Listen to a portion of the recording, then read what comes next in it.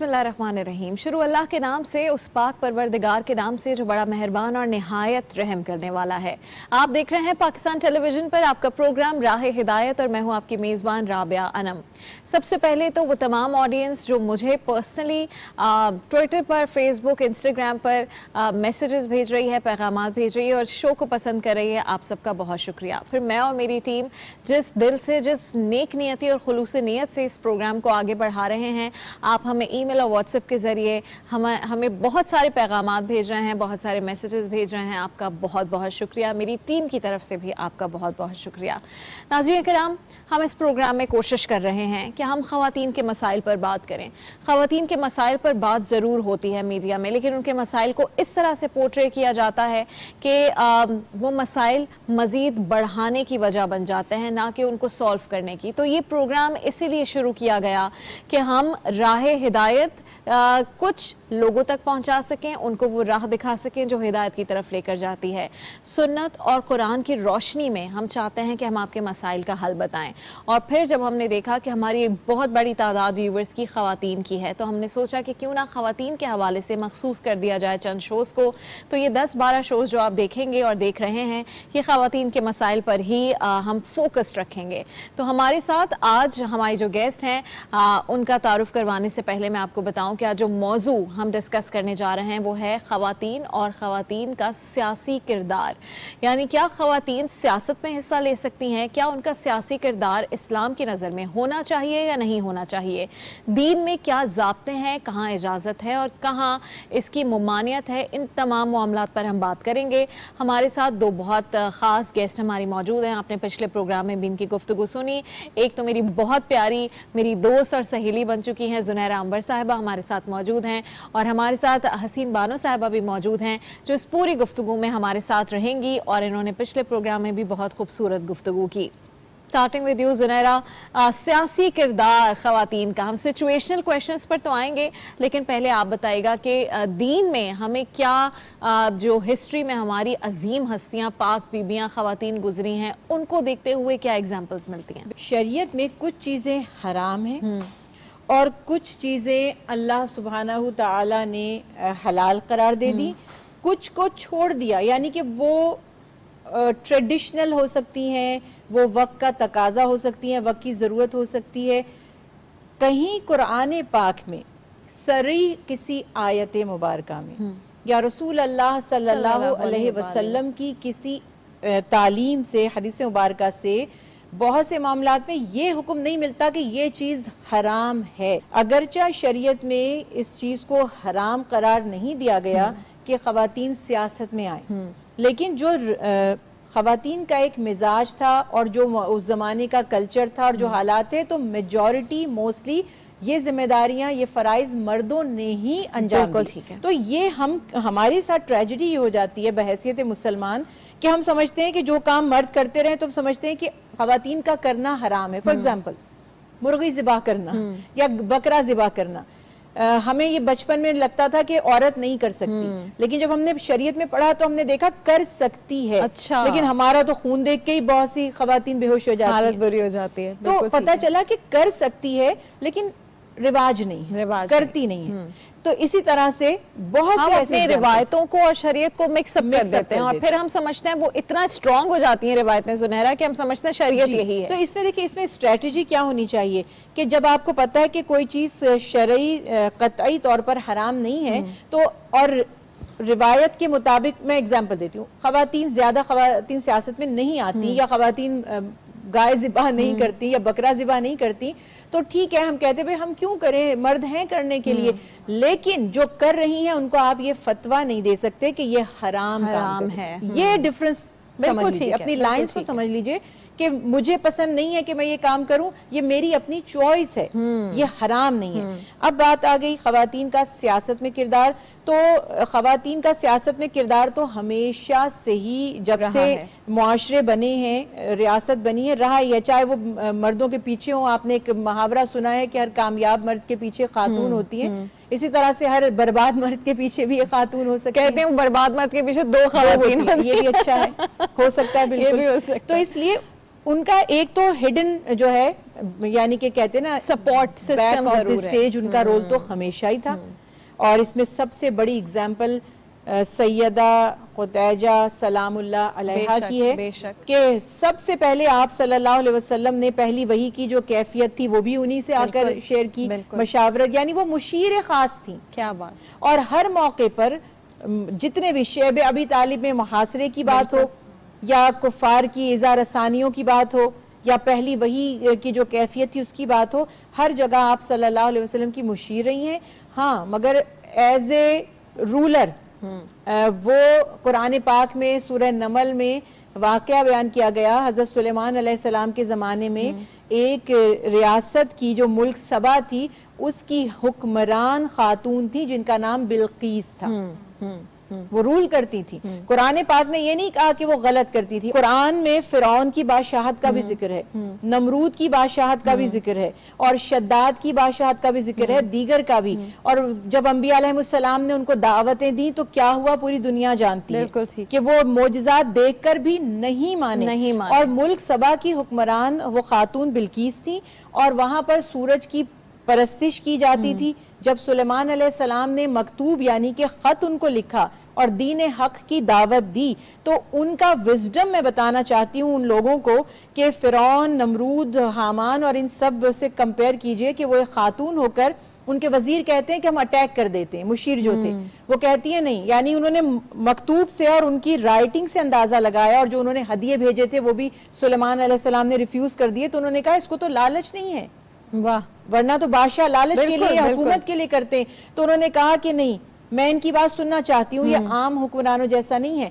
और वो उनसे मिली मुलाकात की देखा और उनकी दावत पर ईमान ले ईमान ले तो ये थी वो खातून जिन्होंने हुक्मरानी भी की और उनके पास दिमाग भी था और उनके पास भी था। ज़िक्र भी और उन्होंने हम्म। फिरौन अमरूद वगैरह की तरह ढिटाई के साथ कुफर पे डटी नहीं रही बल्कि ईमान ले आई। तो ये एग्ज़ाम्पल तो बहुत बड़ी एग्ज़ाम्पल मिलती है। आप इसमें कुछ ऐड करेंगे? मुझे तो ये फ्लावर्स देखकर ही ख्याल आ रहा है कि देखें हर औरत की फितरत जो होती है वो डिफरेंट होती है ना। जिस तरह से ये कलर्स हमारे सामने हैं कलरफुल फ्लावर्स हमारे सामने हैं तो आ, कुछ खातन होती हैं जो घर में काम करके ना बस सेटिस्फाई हो हम्म, जाती हैं कि ठीक है हम्म। उन्होंने अपनी ज़िम्मेदारी अदा कर ली। लेकिन कुछ मेरे जैसी भी होती हैं कि मैं कहती हूँ कि नहीं मुझे तो बाहर भी काम करना है हम्म। मुझे तो बच्चों को पढ़ाना भी है। कहने का मकसद ये है कि हम कुछ और करना चाहते हैं। अब हमें हमारा दीन इस्लाम हमें इतनी बाइंड नहीं करता कि आप ये ना करें। हाँ, अच्छा कुछ लोग खिदमत करना चाहते हैं। असल में जो पॉलिटिक्स में आने का मकसद होता है ना सर्व द नेशन हाँ मकसद ये तो वही है लेकिन लोग उसको हाँ जी। किसी तो भी तरह इस्तेमाल आप, करते आप मतलब अगर किसी को मतलब कौम की खिदमत करना हम्म। चाह रही हैं और इसके लिए आप लोगों के दरमियान काम करना चाह रही हैं तो इस्लाम ने इसकी इजाज़त दी है आप लोगों की खिदमत करें आप लोगों के साथ जो है भलाई वाला मामला करें हम्म। इसके लिए आप किसी भी सतह पे आप वो हो सकती हैं। तो एक डिसीज़न पावर जो होती है खातन की हम्म। मैं ये समझती हूँ कि कहीं कहीं जो है वो मर्द की ज़्यादा है और रिजाल आलनिसा के मर्द जो हैं वो औरतों पे कवाम हैं हम्म। तो इस चीज़ को हमें कबूल करना चाहिए। ठीक है इस पर भी हम बात करेंगे। नायला किदवाई ने यही सवाल पूछा ताकि हम इसकी कंटिन्यूटी में बात कर सके कि क्या कोई खातून किसी सियासी जमात की सरबरा या गिरोह की कायद हो सकती हैं? अच्छा देखिए इसमें मैं क्योंकि सुनने वाले हर तरह के लोग होते हैं हम्म, और मटीरियल भी बहुत है बहुत सी जगहों पर रेफरेंसेस भी हैं हम्म। और स्पेशली दीन में जब इख्तलाफी मसला होता है फ़र्ज़ कीजिए आप कहते हैं कि ये आलिम जो है ये तो इस बात को हाँ कह रहे हैं दूसरा ना कह रहा है। एक हदीस मुबारक कोट की जाती है कि रसूल अल्लाह सल्लल्लाहु अलैहि वसल्लम ने फरमाया कि जिस मुल्क की सरबरा खातून हो हम्म।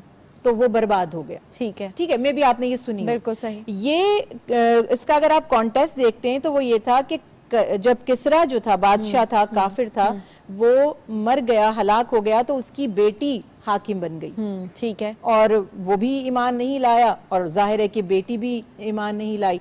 तो पर्टिकुलरली उसके उस लिए, के लिए आप सल्लल्लाहु अलैहि वसल्लम ने ये फरमाया।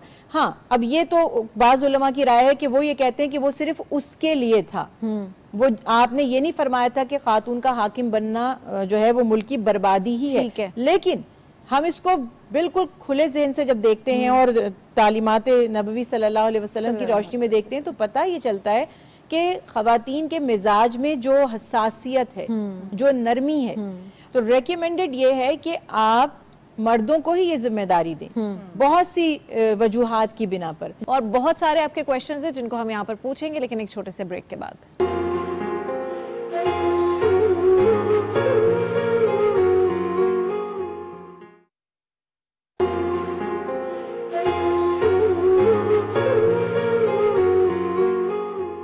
वेलकम बैक जी। खातन का सियासत में किरदार सियासत में रोल हमारी बहुत सारी खातन हैं जो कि सियासत के मैदान में हैं और बहुत बेहतरीन काम कर रही हैं। लोगों की मदद के लिए क्या आपका पहली बात तो पॉलिटिक्स में होना ज़रूरी है कि आप वो सारी चीज़ें बग़ैर सियासत में आए नहीं कर सकते।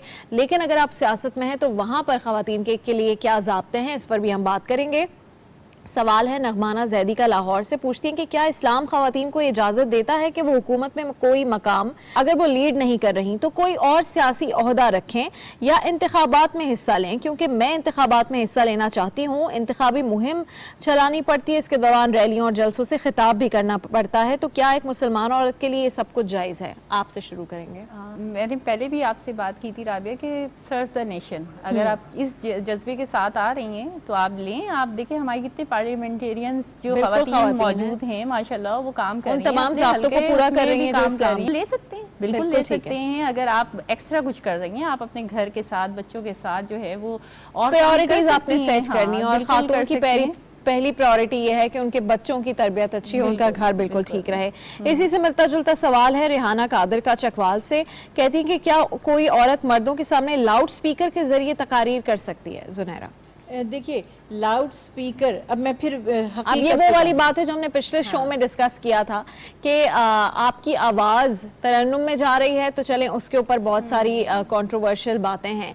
लेकिन अगर आप कोई अच्छी बात कर रही हैं लाउड स्पीकर के ज़रिए एक टेक्नोलॉजी है ताकि लोगों तक आसानी से बात पहुँचे या आप टीवी पर बात कर रही हैं प्रेस कॉन्फ्रेंस हम्म। में ताकि पूरा कॉम जो है वो सुन सके ये टेक्नोलॉजीज़ का इस्तेमाल लाउड स्पीकर तो कुछ साल पहले तक सब स्कूल ऑफ़ थॉट के उलमा इस बात से एग्री करेंगे कि वो तो अलाउड मर्दों के लिए भी नहीं था। नहीं था। फॉर सम रीजन तो वो तो मर्दों के लिए भी अलाउड नहीं और था। माइक उसी लाउड स्पीकर की कैटेगरी में आता है, है। हम्म। अब ये अर्ज़ कर रही हूँ कि देखिए हर चीज़ की वजह और उसकी ज़रूरत। हम्म। उसमें क्या हुआ कि पहले चंद लोग होते थे जिन्हें हमें बात सुनानी होती थी। आज और मिट्टी के घर होते थे। अगर किसी ने बाहर से आवाज़ भी दी तो घरों में वो आ जाया करती थी। अब हमारे ऐसे पैक रूम होते हैं कि मैं दूसरे रूम से भी आवाज़ नहीं आती। हम्म। अब लाउड स्पीकर की ज़रूरत है अपनी बात को अपनी आवाज़ को लोगों तक पहुँचाने के लिए। तो जब आवाज़ आप कि मुझे आपकी आवाज़ आ रही है हम्म। तो अब वो किसी भी सोर्स से आ रही है आवाज़ आ रही है दैट्स फाइन अब उसमें बीच में क्या चीज़ आवाज़ को ला रही है ये इशू ही नहीं है। ठीक है। बात यह है कि जैसे हमने अर्ज़ की कि अच्छी बात अगर खातन कर रही हम्म। हैं या मर्द हजरात कर रहे हैं हम्म। और वो बात मकसद है सुनाना हम्म। तो उसको पहुँचाया जाएगा जो भी मीडियम है उसके थ्रू ठीक है तो खातन या मर्द हजरात की बात नहीं है हाँ खातन के बारे में ये फिर चीज़ आ गई कि जैसे मस्जिद में पहले खातन बाजमात नमाज़ अदा किया करती थी तो उसका तरीका ये होता था कि अगर खुदा ना खास्ता इमाम साहब करात में कुछ भूल जाए तो पीछे से कहते हैं उसको लुकमा देना हम्म।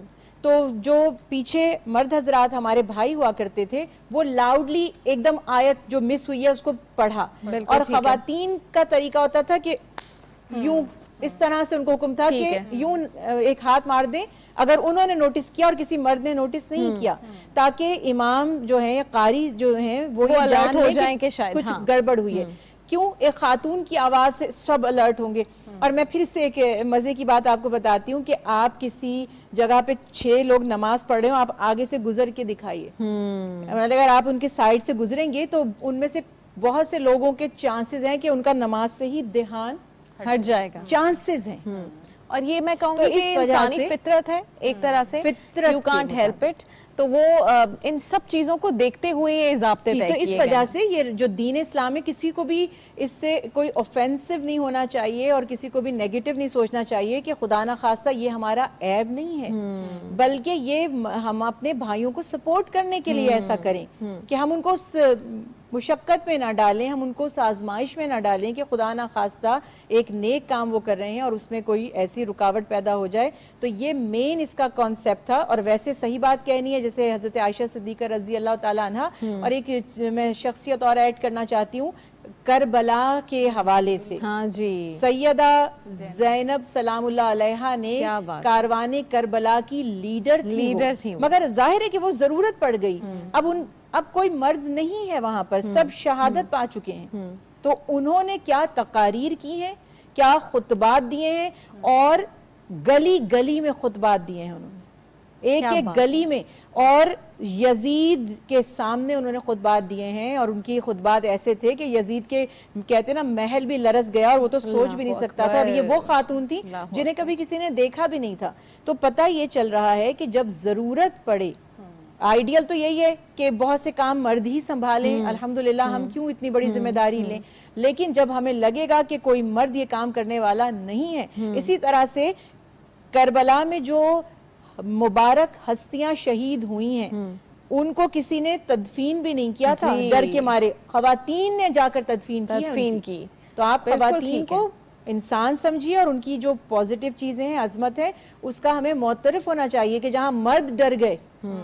कि अगर हमने इन मैयतों को दफनाया तो कहीं यजीद का लश्कर हमें भी ना धर ले वहाँ खातन ने ज़रूरत तो सिचुएशनल भी बहुत सारी चीज़ें और इस्लाम में तो बहुत ज़्यादा सिचुएशनल जैसे आपने कहा कि कुछ चीज़ों को हराम करार दिया गया कुछ चीज़ों को हलाल करार दिया गया और कुछ चीज़ों को छोड़ दिया गया। वो है कि आपकी आपके ऊपर क्योंकि अशरफुल मखलूक़ात हैं हमें अकल जहन ये दिमाग दिया गया है हमें भी सही और गलत का अंदाज़ा होता है।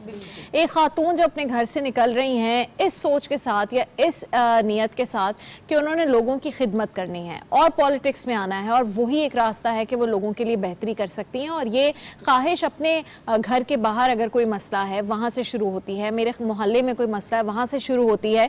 बहुत सारी खातन ऐसी हैं जो कि ऐसे पॉलिटिकल ख़ानदानों से हैं जिनके मर्दों को कत्ल कर दिया गया है, वो दहशत गर्दी में शहीद हो गए और फिर उन्होंने, बेटियों ने कहा कि हम आगे बढ़ेंगे और हम सपोर्ट करेंगे और हमने ऐसी एग्जाम्पल्स पाकिस्तान ही में बहुत सारी पोलिटिकल पार्टीज़ में देखी भी हैं।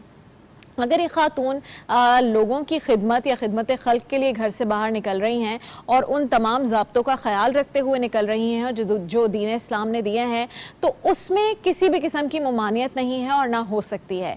लेकिन हमारे यहाँ ऐसे भी पोलिटिकल सर्कल्स मौजूद हैं जो सिर्फ़ इस नीयत से बाहर निकलते हैं कि थोड़ी शोशा हो जाएगी कि जी फ़लाँ एम पी ए है या एम एन ए बन गई हैं खातून। ये हम सिर्फ़ खातन के लिए इसलिए बात करें कि ख़ास तौर पर खातन का ये शो है, लेकिन ये मर्दों के लिए भी है कि एक शख्स है जो खिदमत खल की नीयत से सियासत में आ रहा है और एक शख्स है जो सिर्फ़ इसलिए आ रहा है कि शोशा हो जाएगी या करप्शन से कुछ पैसे बना लेंगे तो ये तो है ही गलत।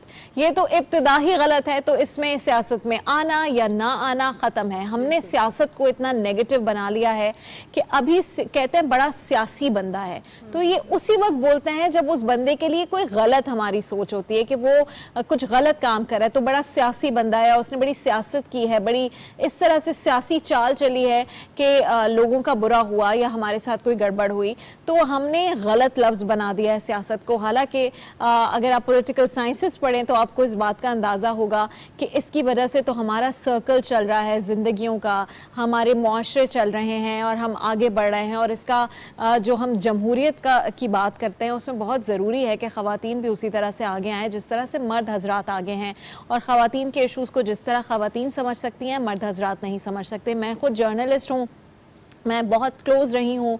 ख़वान पॉलिटिशन से भी और मर्द पॉलिटिशन्स की भी बात सुननी पड़ती है समझनी पड़ती है। लेकिन जब हम खुद जर्नलिस्ट को भी कुछ इशू होता था तो हमारे लिए बहुत आसान है कि हम खातून पॉलिटिशन को ये बात बताएँ कि इस चीज़ का ज़रा कुछ आ, मसला हल करवा दें। फॉर एग्ज़ाम्पल आपने पार्लियामेंट जाना है और वहाँ पर आपको ख़वान को सही जगह नहीं मिल रही बैठने की या जो जबते दीन ने तय किए हैं वो पूरे नहीं हो रहे। तो आप ये बात किसी मेल पॉलिटिशन से कहने से ज़्यादा फीमेल पॉलिटिशन को आसानी से कह सकेंगे क्योंकि वो आपकी बात को ज़्यादा आसानी से समझ सकती हैं आपसे रिलेट कर सकती हैं।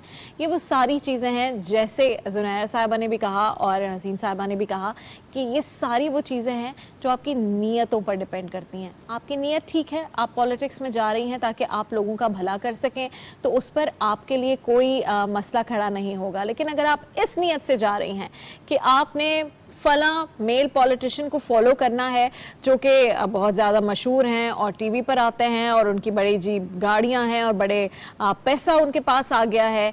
और करप्शन उसमें इन्वॉल्व है या ऐसी चीज़ें इन्वॉल्व हैं जिसका अल्लाह ताला ने वैसे ही ज़िंदगी में हमें हुक्म दे दिया है कि उससे दूर रहना है तो फिर वो सियासत में भी इन्वॉल्व होंगी तो उसके लिए मुमानियत है। उम्मीद है कि आज के हमारे शो से आपको बहुत सारे आपके सवाल का जवाब मिला होगा। जुनैरा, आपका बहुत शुक्रिया। हसीन साहबा, आपका बहुत शुक्रिया।